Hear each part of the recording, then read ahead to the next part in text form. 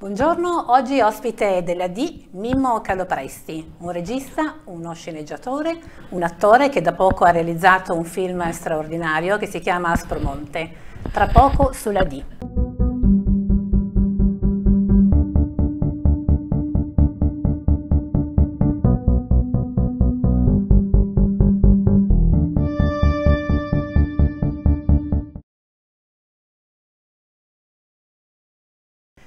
Mimmo Calopresti, buongiorno, buongiorno. Ben, buongiorno. ben, trovato e grazie per, per, essere il nostro ospite di eccezione.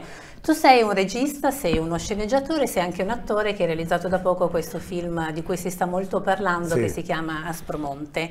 Ed è una, un po' un ritorno alle tue origini, origini. se vogliamo. È un, Assolutamente. È un luogo, le origini che sono un po', un po', anche un luogo dell'anima, tu le chiami. Sì, sì. sì Raccontaci film, un po'. Questo film si chiama Aspromonte, la terra degli ultimi. Esatto. Oltretutto c'è questo sottotitolo no, che vuole indicare bene Ci parlavamo dopo, sì, esatto. dove voglio andare ad arrivarci. E, ehm, è un film girato ad Africo, che è il posto più lontano del mondo, in Calabria, sull'Aspromonte io non sono nato in Aspromonte, sono nato in Calabria, Poliste, vicino diciamo all'Aspromonte, nella Piana in realtà, no? da dove parte l'Aspromonte. E, mm, e, grazie al fatto che ho incontrato un produttore che si chiama Fulvio Lucisano, che oggi ha 93 anni, di origini calabresi, che anche lui dire, stava cercando un film per tornare alle origini, ai padri. Dopo un po' ci siamo messi d'accordo che stavamo alla ricerca dei nostri padri, cioè e lui addirittura padri dei padri, no? nel senso cercando di andare lontano. Infatti il film è dedicato alla gente di Calabria. Mm.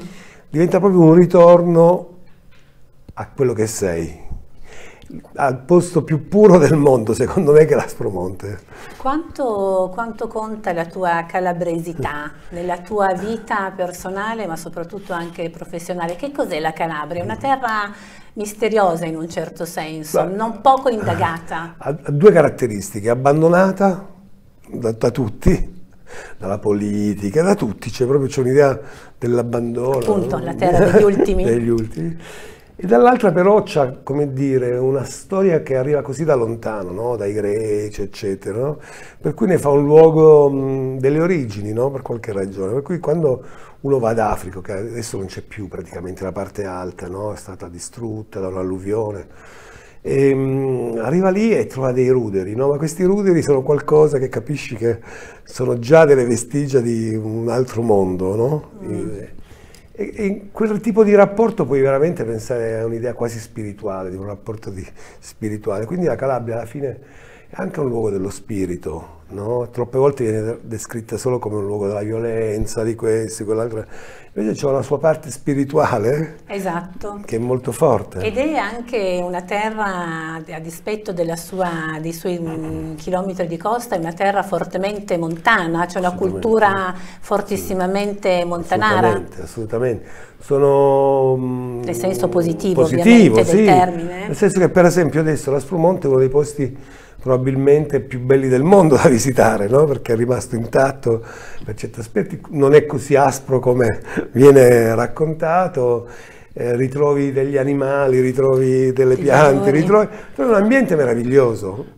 Io e Marcello Fonte, che è uno degli attori del film, noi dicevamo, diciamo a tutti, andiamo, siamo andati col film in giro per il mondo, in Australia, Sudafrica, così, e diciamo a tutti che lì c'è l'Eden. Mm. No, io sono stato, dopo il film, sono stato a San Francisco per l'università, e allora uscito dall'aeroporto ho preso questo, ho preso, ho capito, la strada per andare nella baia, no, sul ponte, per arrivare all'università, e eh, come dire, improvvisamente ho capito la follia in cui siamo finiti in questo mondo, cioè gente bloccata per 3-4 ore tranquillamente su questo ponte mm. in macchina, mentre io arrivo veramente al paradiso terrestre. Ho detto ma che sta succe- cos'è successo nel mondo? No?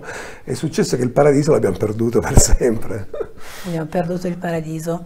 Tu um, parli molto di anima e dei luoghi dell'anima, i posti ti, um, ti dicono moltissimo sì. e ci sono due posti opposti mm. nella tua vita che hanno avuto grande, un grande senso per te. Uno è appunto la Calabria nella sì. sua diversità e uno è Torino. Torino, esattamente. Torino, sei andato a Torino quando avevi sei anni, giusto? Sei, sette anni, sì.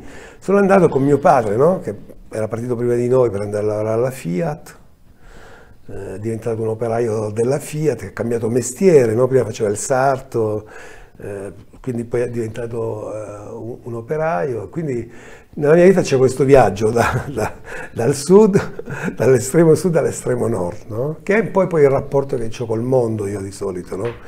che appunto questo mondo eh, dire, del nord, del lavoro, del, dire, che viene presentato della civilizzazione, di un nuovo modo di stare al mondo, eccetera, e questo sud profondo che è il sud, è il, è il sud delle origini, no? Mm.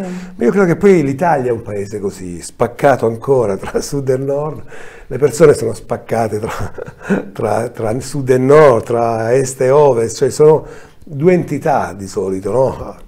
Allora, se vogliamo fare filosofia, diciamo che, sono, che siamo alla ricerca della nostra unica entità no? nella vita, quindi io faccio cinema ricercando di ricompormi, no? di ricomporre la mia vita, quello che sono, eccetera. E, e quindi per me, come dire, è molto forte l'influenza avuto dai miei film dei luoghi dove, dove sono vissuto, mm.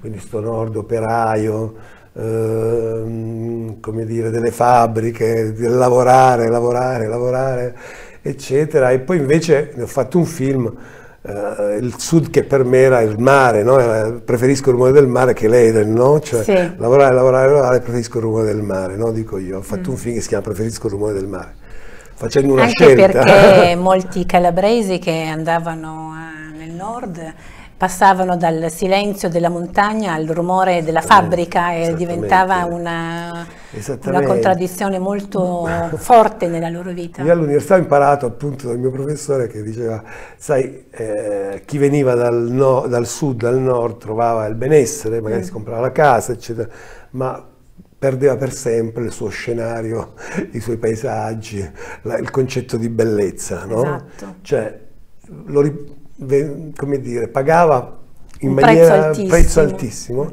che è esattamente quello, è quello dello scenario in cui sei nato mm. e che perdi forse poi, poi, per sempre. In cambio c'hai altro, eh? c'hai le scuole, c'hai esatto. gli ospedali, qualche volta perché poi non è andato sempre così, però insomma uh, c'è, c'è quella strada lì. Stata, era, era, più che altro un patto tra generazioni, no? si sacrificavano i genitori per consentire ai figli di, avere studiare, di esatto, un futuro, dei servizi di un certo tipo. tipo. Anche tu ti sei iscritto all'Università di, di, Lettere a Torino. Lettere, scienze, sì. sì, facevo scienze politiche, poi ho fatto invece l'indirizzo artistico, eccetera. Poi quando ho scoperto il cinema me ne sono andato col quando? cinema. Ecco, questa è interessante, come diciamo, una persona come te, tu non sei cresciuto in un mondo, no. eh, non sei cresciuto nel mondo del cinema, no. quindi questa è una passione che ti è proprio nata da dentro. Come, come hai fatto ad avere questo successo? Perché comunque sei anche un esempio di una persona che ha costruito la, la fa, propria vita. Fa, tu sei uno che ce l'ha fatta. Ce l'ha fatta e che sembra impossibile, no? poi nel mondo del cinema veramente sembra impossibile che poi arrivare dal basso, mm. senza raccomandazioni, senza questo, senza quello, sembra impossibile no? molte volte. Invece è il mondo ideale per questo, perché è un mondo di avventura, quindi vale la pena mettersi in gioco, dico io, in questo mondo qui. No, io ce l'ho fatta semplicemente perché Torino è una città molto cinematografica, mm. ho incontrato i cineclub, ho incontrato un mondo anche culturale importante, all'università c'erano molte possibilità di vedere i film, mm. eh, è una città di, di, di cinefila, di appassionati del cinema, eh, in due cose, una città di, di, appassionati della cultura, che era come dire, che un, qualcosa da conquistare nella vita e per me che venivo appunto dal basso era molto importante conquistarmi questa cultura mm. per venirne fuori e dall'altra um, una città di, di, movimento, di frontiera, no? quasi, per cui eh, per me ho avuto, sono passato attraverso i movimenti di lotta, gli studenti, gli operai, tutti quelli che combattevano no? per affermarsi. No? E allora, come dire, quel mondo lì alla fine eh, mi, ha, mi, ha, aperto molte strade di conoscenze, di persone che, che ho incontrato. Torino è una città laboratorio, arriva gente da tutto mm. il mondo, mi era facile incontrare gente che veniva a proiettare i propri film. Mi ricordo a un certo punto è arrivato Wenders, c'era cioè una città che faceva il Festival del Cinema, che era un festival uh, molto importante, si chiamava Festival Cinema Giovane, era un laboratorio proprio. No?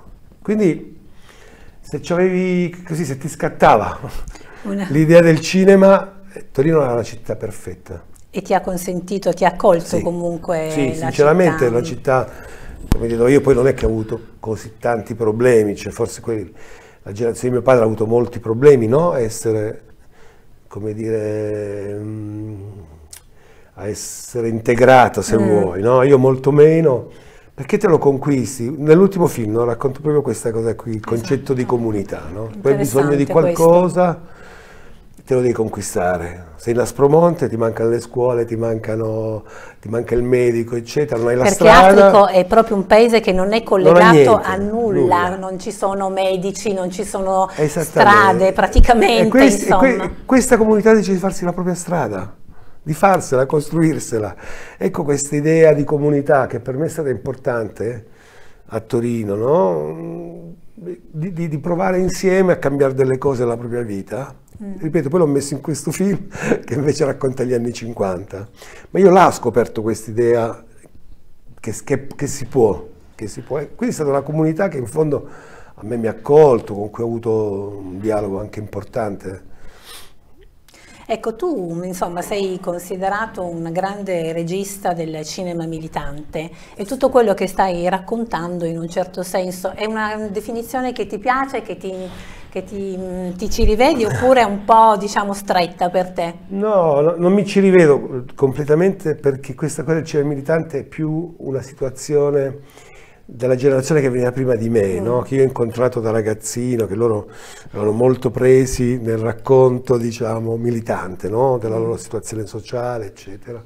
Persone di cui ho avuto grande rispetto, sono dei, dei capaci e dei maestri di, di queste cose qui. No, io sono entrato diciamo, in un filo, in, un- in un- in una filosofia un po' diversa che è quella di un cinema neanche neorealista, io lo chiamo il cinema verista, no? Cioè un, un ci- Cioè, che cinema che cosa ci, appartiene, che ci appartiene, che racconti la realtà, perché la realtà per me è importante, quello che c'è dentro, la realtà. Eh, Io cerco di non bleffare mai, di essere molto diretto. Questo è un po' in contraddizione con, con quello, con questa vulgata di oggi, che questo bisogno di sfuggire dalla realtà. No, invece no, io ci sto mo- molto fortemente, però dentro la realtà cerco un'altra cosa che è la verità. Mm. Quella è una cosa più difficile ancora, questo diciamo a livello personale, cercare la verità delle cose, che va al di là di molte cose che, che cos'è la verità delle cose? E questa è veramente la cosa più difficile perché diventa poi un rapporto personale tra te e il mondo, no?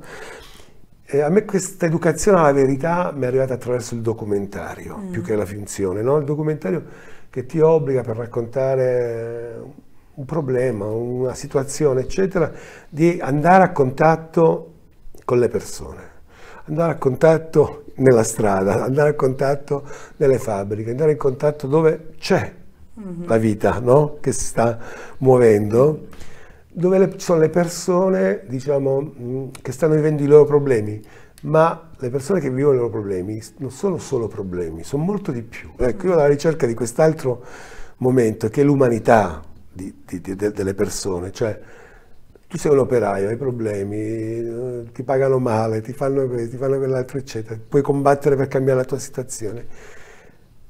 Se tu però ti occupi di, di- di- di- loro, come io mi sono occupato di mio padre, delle persone che erano state in fabbrica come mio padre, eccetera, Tuo padre lavorava alla la Fiat. Fiat. Dove? Eh, eh, ha, lavorato a Mirafiori, A. Riva Alta, ha lavorato tutte le parti perché lì poi si spostavano, Si spostavano. tantissimi.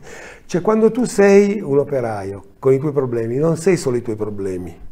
Se sei un detenuto, non sei solo il tuo reato, sei molto di più, sei una ricchezza più profonda. E quella io dico è la verità di quello che uno è, no? Che va al di là di quello che sta vivendo in maniera contingente in quel momento Sì, lì. invece si tende soprattutto oggi Sì. con, con un- diciamo, anche con, questa, con le tecnologie a dare subito un'immagine Un'immagine che sia, sì, sì, sia sì. non ci- multidimensionale ma unidimensionale dell'essere umano. Tu invece vuoi andare nel profondo. Profondo, ma il cinema è uno strumento che lo permette, questo è Ancora importante. oggi, secondo te? Abbastanza. È cambiato il cinema? Moltissimo, moltissimo, è diventato un'altra cosa, c'è la televisione che ha- è riuscita, come dire, a farci molta concorrenza, entrare, eccetera. Il cinema con le nuove tecnologie è molto cambiato, però c'è un'essenza fondamentale che è il racconto. Cioè il racconto degli esseri umani è sempre lo stesso, poi puoi trovarti lo strumento che vuoi per portarlo in superficie, no? Cioè, le persone hanno bisogno di essere raccontate. Il cinema film... è ancora forte in quello. E questo film che cosa racconta? Aspromonte, la terra degli ultimi. racconta proprio quest'idea del bisogno delle persone di esistere in qualunque condizione. Cioè, ognuno di noi ha diritto di esistere e di esprimersi e di avere delle opportunità. E questo è un bellissimo messaggio oggi, spero, anche particolarmente importante al di là della situazione. Mentre stavo lavorando lì, facevo i sopralluoghi, andavo in questi posti abbandonati, no? Cioè, le maestre che erano disperate, scioperavano, eccetera, perché si svuotavano i paesi, si svuotavano le scuole, quindi dovevano ricostruire scuole a chilometri no? per avere 10 bambini, no? per poter fare una classe. Questo succedeva esattamente mentre dall'alto tu guardavi, c'era una nave laggiù in fondo con delle famiglie, no? bloccate in un porto che non potevano entrare. Di cosa avevano bisogno quelle persone? Di scuole, di case, eccetera, che erano lì. Mm. La politica si scontra, no? Se devono entrare gli stranieri, no, babà, l'immigrazione, eccetera. La realtà ti dice che non è un problema, cioè che si risolve in un secondo, perché là sopra quei paesi hanno bisogno esattamente di quelle persone che c'è. E poi oh, in questi dati, in questi giorni sono usciti i dati Istat che nel nostro paese non, non nascono più, più bambini, bambini, bambine, quindi... quindi... sarebbe stato perfetto, c'era Mimmo Lucano che faceva l'accoglienza e lo chiudevano, cioè esattamente il problema era risolto da solo, si risolveva da solo. Invece no, cioè, la società non è capace, capito, di eh, guardare il problema. Mm. Guarda qualcos'altro che va al di là. Il cinema raccontando una storia guarda il problema. Per questo mi piace fare cinema, no? Molto... Perché c'è, c'è, una cosa da raccontare, se la racconti bene può servire. Sta servendo il tuo film? Sta Ma sì, sì, sa, tanto c'è questa cosa dei calabresi che si ritrovano finalmente non raccontati solo appunto come un problema, ma come gente capace di mettersi insieme, risolvere i problemi, eh, affrontare la vita, eccetera. Invece si dice che sono abbastanza litigiosi. Litigiosi, poi c'è l'andrangheta, c'è questo, c'è esatto. quell'altro. Forse hanno bisogno di essere, come dire, messi al centro dell'attenzione ogni tanto, perché questa idea dell'abbandono, no? Mm. È una cosa che poi la, paghi, no? Perché ti chiudi in te stesso, fai delle...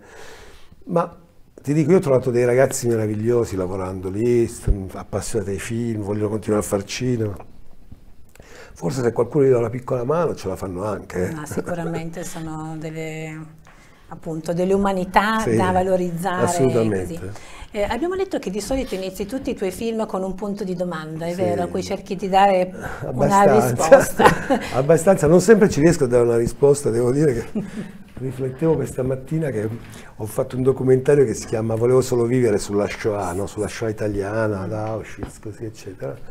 E, e, e, parlavo con delle persone oggi e anche queste persone, più, capito, c'è più anziani di me, il mio produttore Lucisano che ha 94 anni, diceva ma e lui ci pensa da anni anche, ma dove, perché è successo tutto questo? Ecco, perché? Ma tanti ce lo ma chiediamo. E questa cosa qui veramente, io ci ho lavorato due anni, ho sentito tutto, mi sono documentato, però alla fine non riesci a trovare una risposta. E questa è la cosa che ti fa più paura, secondo me, che, che gli esseri umani possono arrivare a un livello tale di aberrazione, come in quel caso lì, mm.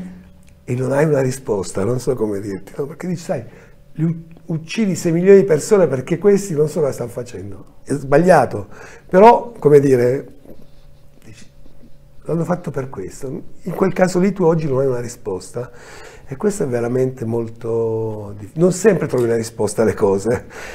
E anche già lì forse porsi delle domande già, ecco, già un, ma forse porsi delle domande no? bene, perché invece dalla mia esperienza vedo che no, quasi nessuno si pone mai domande, no? tutti certezze, boh, boh, certezze, certezze, la politica soprattutto, certezze. La politica è tanto distante dalla società oggi, è molto chiusa nelle, loro, nelle dinamiche che gli appartengono. Non... Assolutamente, è il linguaggio che gli appartiene, cioè, che ne so, è incomprensibile per quasi tutte le persone normali, cioè, eh, c'è proprio un mondo a parte ormai, fa parte di un... è un mondo a parte che anche le persone sono abituati no? Ormai, sì. ad accettarlo, quindi non è che chiedono di cambiare questo modo qui, no? votano da una parte, dall'altra, secondo la situazione. C'è poca partecipazione proprio perché quel linguaggio lì è quasi incomprensibile. Esatto. Ehm, tu, noi abbiamo avuto tra i nostri ospiti anche Bobo Craxi che sì. insomma sì. in occasione del, di questo di film, del film Amamet, oltretutto il regista era un altro calabrese. Sì, bravissimo. che cosa pensi? Tu ti sei molto occupato di quegli anni, hai fatto anche un film sul, sul terrorismo la seconda volta, giusto? E che cosa pensi di quegli anni e come, ovviamente sicuramente non ti chiedo un giudizio sul film, ma più che altro su quel periodo storico? Sai, quel periodo storico lì eh, c'è poco da, da, fare, è stato un momento di grandi battaglie, confronti, scontri. La, la politica, politica, lì era... era forte, era for ma anche nelle cose peggiori come quelle di Craxi, quindi bisogna essere, dire le cose per come stanno. Lui era uno statista, uno forte, capace di intervenire, ha fatto delle cose terribili, ha rubato perché questa è la verità che ne è venuto fuori. Però voglio dire, eh, comunque c'erano, c'erano dei leader politici capaci di stare e di avere delle soluzioni anche positive, no? erano capaci di fare il loro mestiere se vogliamo. Infatti nel film di Amelio una delle frasi che dice appunto Bettino interpretato poi da, da Favino, dice la politica, quando sei un uomo politico devi dare risposte a tutti. tutti. Questa, questa, è una verità profonda, secondo me, che vale, valeva per i comunisti, valeva per i socialisti, valeva per i democristiani, ma valeva per gli estremisti come me, allora che ero un ragazzo che voleva fare la rivoluzione, no? Cioè la politica doveva dare delle possibilità a, a, al mondo per andare avanti, eccetera. Poi li puoi tradire, no? eccetera. È stato un momento di grandi conflitti, questa mm. è la verità. Cioè lì c'è stato fino alla guerra del terrorismo. Il terrorismo è stata una guerra, poi Che cosa è stato il terrorismo? Tu, il tuo, quel film tuo è stupendo, sì. la seconda volta. Come... Mm, Ma sai, lì è stato perché poi io molti di loro li ho conosciuti anche, eh, di, loro erano più grandi di me, però eh, eh capivo che hanno, come dire, mm, fatto qualcosa che... Eh, probabilmente molti, quando si trovano in una situazione estrema, no? vicino alla possibilità di prendere il potere, di, cioè veramente perdono la testa. Mm. Cioè, mi è sembrato che molti di queste persone che forse avevano fatto i movimenti, avevano, erano cresciuti in un certo modo, veramente hanno perso la testa di fronte alla possibilità di prendere il potere, che era una follia. Mm. Cioè, visto poi, come dire, con un minimo di lucidità, quella era una follia, cioè non potevi prendere quel potere lì in quella maniera, in eccetera, facendo quelle scelte scellerate dalla lotta armata, tutte quelle cose lì. Mm. Però c'è una situazione che aveva illuso, no? eh, che era possibile fare quella strada lì. E, però loro hanno fatto la cosa peggiore del mondo, insomma, che hanno messo in, i piedi in testa ai loro movimenti. Cioè, il loro modo di fare, mm. di, di, prevaricare, hanno prevaricato chi invece si batteva, gli studenti, gli operai, eccetera. Cioè li hanno rimessi in difesa. Mm. Non hanno creato quella forza, certo, quella perché loro si sentivano onnipotenti, capito, capaci, con le loro pistole in mano, si sentivano onnipotenti, un disastro. Eh, noi appunto veniamo dalla, dalla notte degli Oscar eh, sì. da poco, ha, visto, ha, vinto questo film straordinario, Parasite, un film coreano. Sì. Che racconta un po' qualcosa di questo film, non so, ci ricorda un po' te. Grazie. Perché ci parla l'intimo, no? Cioè, c'è un'idea anche di intimo che io faccio nei miei film sempre. Ehm, no, la cosa straordinaria di questo film sai qual è? Che vince l'Oscar, un film, forse l'ha scritto Saviano in questi giorni su, su, da qualche parte, un film che vince, che non è inglese, mm, esatto. in lingua inglese, che non è prodotto con gli americani, che come dire, racconta in una maniera che non c'entra niente col grande cinema americano, eh, vuol dire che, che è cambiato il mondo, cioè in qualche maniera un coreano che non parla l'inglese, cioè va a prendersi e non parla l'inglese. Sì, esatto. Ma guarda che questo vuol dire la fine di un dominio. Sì, vabbè, questo è positivo, positivo. Insomma. Cioè nel senso che in positivo c'è il fatto che questo film ha conquistato, ha vinto Cannes, eh? cioè sì. nel senso è un film che vince, ehm, facendo un po' la rivoluzione.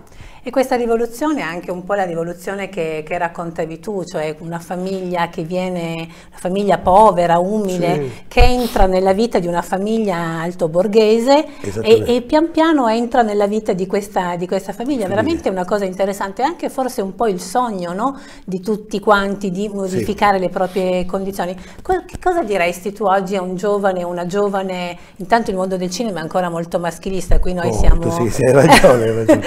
hai assolutamente cosa ragione. bisogna fare per, per, per, fare in modo che le donne possano avere, mm. anche qui, anche in questa tornata di Oscar non ha vinto nessuna... No, io credevo che vincesse Scarlett Johansson con... Uh, Uh, storia di un matrimonio, sì, un film molto bello. Molto bello, molto sì, sì, bello. un film molto, molto, bello, molto reale. Avrei pensato che sì, che, che molto drammatico anche. Molto su... anche se vuoi, nessuna donna regista, però lì è un film molto femminile secondo sì, me. totalmente. Sono dei film femminili che hanno come dire un'impronta femminile grazie magari all'attrice, eccetera. Esatto. E... Lì c'è uno sovvertimento poi del, del rapporto tra le persone che si fanno dominare da questi avvocati che sono aggressivi sulla loro vita. Sì, un film è veramente bello. E Ehm... Ma come si può rendere un po' più femminista il cinema mondiale? Poi non è solo un problema no, italiano. Mondiale. Secondo me è molto difficile mm. perché c'è una struttura diciamo, di, di, potere legata ai soldi e come sempre dove ci sono i soldi c'è una struttura molto forte che nasce poi con i grandi padri, no? del, i grandi padri del cinema mondiale, cioè dove uh, sai, l'idea del comando è, mol, cioè, è, molto forte. Nel cinema c'è un'idea di comando molto verticistica, molto potente. Mm-hmm. Quindi eh, le donne col, hanno difficoltà a entrare a muoversi dentro, dentro questo tipo di C'è anche un tema femminile nella capacità di gestire il potere, diciamoci la verità. Lì deve essere secondo me il gioco e quindi ci vuole coraggio, ci vuole molto coraggio. Per esempio tu cosa diresti a una donna? Io direi vuole... di, di, imitare la Bigelow, no? che quando fai, fai film sembra che va in guerra, è bravissima, cioè ha una determinazione come entra sul set, eccetera, che è molto forte, ma non è una determinazione, come dire, maschile, una determinazione di chi sa che vuole vincere e che vuole affermarsi e che c'ha i mezzi per farlo. Per questo dico ci esatto. vuole coraggio. Bisogna avere il coraggio di, di essere quel che si è capito? Cioè, e secondo me vinci, alla fine ce la fai, soprattutto diciamo nel mondo degli imprenditori che loro sono veramente un mondo, non te lo dico io, con, con, con, con lo scandalo dei Weinstein, sì. MeToo, eccetera, quel mondo lì era dominato da gente così, è dominato da gente così, quindi... Mm. Ci vuole tu, coraggio, battersi. Ci vuole tanto coraggio, quindi donne datevi da fare, buttatevi perché insomma eh, sì. Mimmo dice che ce la possiamo fare anche Assolutamente. noi. Assolutamente raggiungere anche queste vette che sono degli uomini. Tu hai dichiarato, è vero, mi, mi verrebbe quasi voglia di essere come Spike Lee. Prima dicevi che sì. le persone, noi siamo tutti un po' divisi, divisi tra sì, contraddizioni, sì. nord, sud, est, ovest.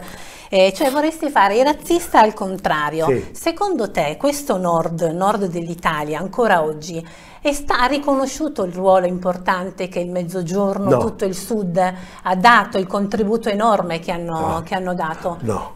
Cioè, quindi... c'è, una, c'è, una, cosa rispetto al sud che è incredibile, cioè, anche questi giorni ero in Veneto, continuano a dire la terronia, ma a me non mi dà fastidio, no? Ma come dire, c'è una specie di luogo comune, poi di sovrastruttura, di, di, razzismo da quattro soldi, e non stiamo parlando neanche del razzismo, quello, esatto. quello come dire, proprio di basso livello, in cui, come dire, non ti concedono il fatto che il Sud può essere veramente la, la chiave di volta di questo paese, non lo vogliono fare, ma non solo, pensa al Sud, cap- capito, che è tornare dal Nord a sì. lavorare nelle fabbriche, niente, cioè questa è un'idea proprio che manca, manca, continua a pensare a un Sud che non, è, che non, lavora, che non fa, che vogliono andare tutti a fare il posto fisso. E non guardano per niente i nostri giovani, no? Perché invece i ragazzi del Sud vanno in giro per il mondo, si affermano ovunque, perché continuano a guardare l'Italia, cioè continuano a guardare il mondo in maniera vecchia.